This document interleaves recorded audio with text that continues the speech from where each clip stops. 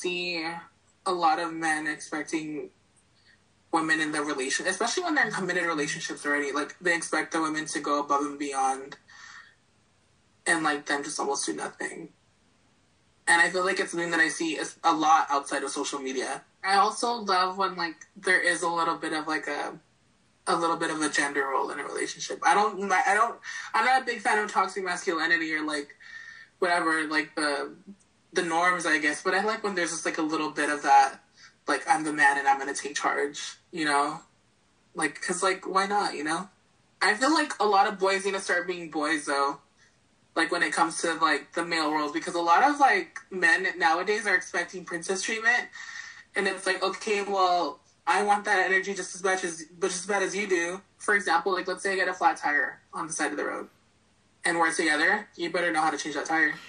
See a lot of men expecting women in their relation, especially when they're in committed relationships already. Like they expect the women to go above them. Ain't no way. Ain't no way.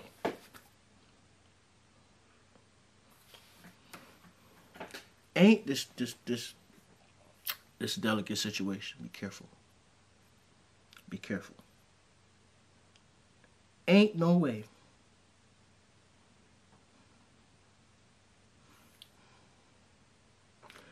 This uh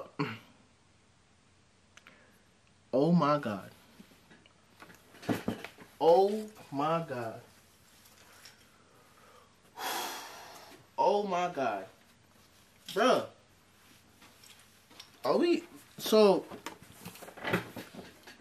did I am I missing something? Was he not born a a man? Hold on, bro. Am I missing something, bro?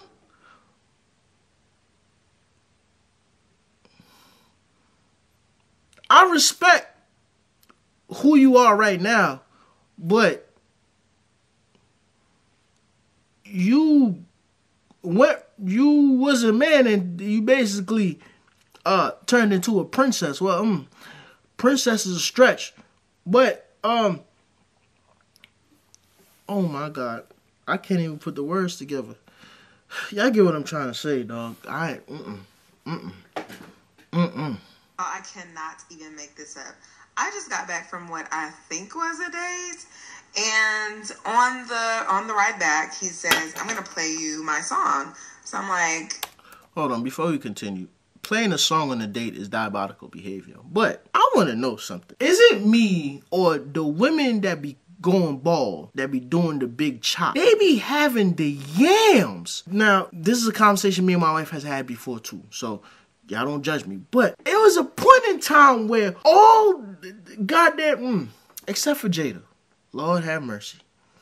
You know what? I'm gonna stop while I'm ahead because it's. Oh my God! You're a secret rapper. He plays me the song. He's rapping all the words, and then he gets to a part where it says, "I don't with bald Mr. Clean." I said, "Oh really?" Oh snap! Like, yeah, my bad. I said, "No, but keep keep going," and he he kept going. Oh, I cannot. Hey, first off, bro, if you're going on a date, do not play your music. That is that is so Atlanta. I'm not even gonna lie, that is so Atlanta. But if you're going on a date, bro, do not play your songs. Okay, everybody is an aspiring rapper, and I am hundred percent sure that the ladies would agree with me that once a chick here that you're an aspiring rapper, she already put you in like the fuck nigga category. You want to play a game? Uh, here go Tristan again. Yeah. If I could do a trick on my skateboard first try, you have a beautiful smile. if I can do a trick on my skateboard first try, yeah. you have to give me your number. Ah, I see. Okay. okay. What's your name? Tristan. Nice to meet you. Ooh, yeah, cutie. you can do it. Let's go. Um. We win. Bueno, estamos en contacto. Sí. Que estés muy bien, bello. Gracias. Bye, bye, kitty. You want to play a game? You can't do what Tristan can do. If you listen to how he talk, bro, he sound like a nerd. But That's the trick. That's the scheme, bro. He sound like a nerd. Like he sounds he don't sound dangerous. That might be it. He sound innocent. Like he's coming with you with a level of innocence. Nigga, you diabolical, bro. That is diabolical, bro. All the guys that I deal with, they gotta accept my kids. So like I've been seeing this guy, and I like him. I really do like him. This somebody baby And, mother. like, when I first came to see him, when I came into his house, the first thing he said was, like, let me show you around my house. And I was like, okay. Like, I just was like, cause That's house then. He's cool. He's cool. He's cool. He's cool. He's so cool. He's very cool. um, he's so cool. yeah, yeah. He plays. He, they just won too. They just won. So I just felt so excited to walk around and see what the fuck's going on. So we were walking around and shit. And I was just laughing, and he was like, "Yeah, like it was a little room with two beds. I have twins." And he was like.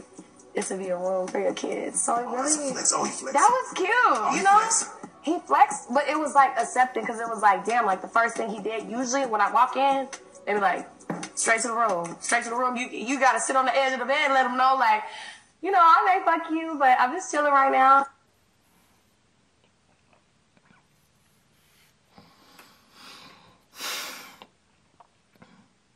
we just promote unladylike behavior. We're glorifying whole activities. Let, let's let's talk about that. I do not understand how men who work so hard to have the ability to financially take care of their family and can choose damn near any woman they want and they align themselves with women like this. Like if you hear you hear what she said, she basically said that's not a new occurrence for her to just go to different people's houses. I may you, I may give you the cheeks, but right now we're chilling. But then y'all wonder, damn, bro, why I'm paying her a hundred thousand dollars in child support every month? Cause you stupid. You too, you too, Grandpa. Love you so much. Love you. Well, happy birthday. Love you. Happy birthday, to you.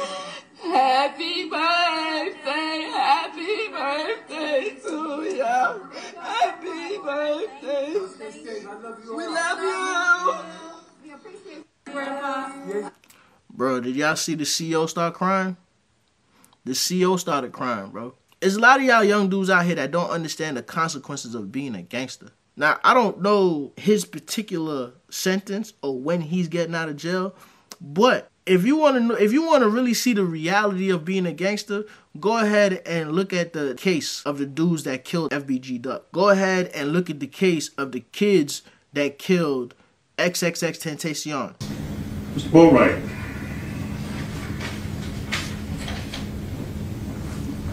You turned a robbery into a murder. And on that day, when you stood there and fired that weapon, you didn't just end one life. You effectively ended five lives, including your own. Like I just said, you, you need to understand that when we say life in Florida State Prison, that means life. It is necessarily without parole. Florida abolished parole. You know, as the song says, you can check out anytime you like, but you can never leave. You will spend the rest of your life in prison. From here, you will go and be placed in a cell that has a stainless steel slab that's attached to the wall. That's your bed. And next to it is a stainless steel sink and a stainless steel toilet. That's the furniture that you have in that cell. You'll spend every hour and every day and every week and every year of your life in that cell. And one day,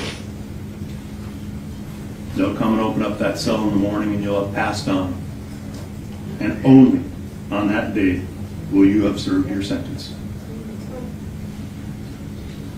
A jury of your peers having found you guilty of murder in the first degree with a firearm and having discharged that firearm and having that firearm discharge result in the death of Jahseh Onfroy, this court will sentence you to life in Florida State Prison with credit for 1,732 days already served.